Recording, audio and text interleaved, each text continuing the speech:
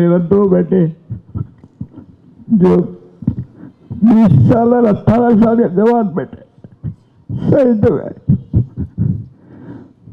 मुझे अब तक सको नहीं मिला। वो बी आई वाले पेंसिल जो मिलता था हमारे घर चलते थे। अब हम कमाने के लायक नहीं है हार्ट के मरीज़ हूँ शुगर की मरीज़ हूँ मुझे इंसाफ चाहिए और मैं हाई कोर्ट से भी अपील करता हूँ, हम लोग हक पे इंसाफ करें। सलाम अलैकुम।